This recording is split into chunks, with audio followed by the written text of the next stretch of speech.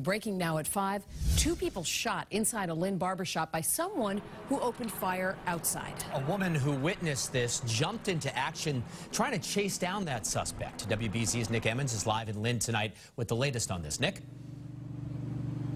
Yeah, pretty alarming stuff here. We understand that the two people shot were employees of this barbershop. One was shot in the upper body, the other was shot in the head. The good news after hearing that, though, is that their injuries appear to be non-life threatening, but still, for people in this area who saw it play out, it was pretty alarming. It happened in broad daylight. Boom, boom. On a busy street packed with people. He walked across the street, positioned himself in front of the building, and shot four times. The employees inside Rudy's barbershop on Lewis Street were essentially ambushed as people watched it all play out from across the street.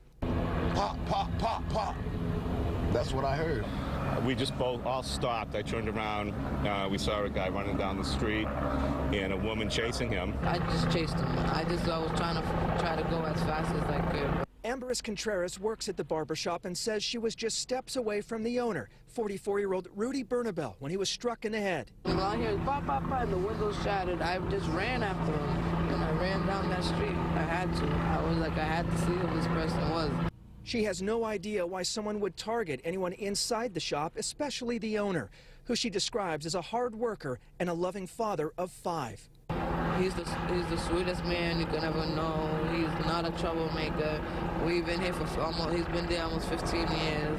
Like, no, nobody ever started anything over here. Police are now looking at surveillance video from the area, hoping to track down the shooter. That I hope they catch him. I hope you, you get caught.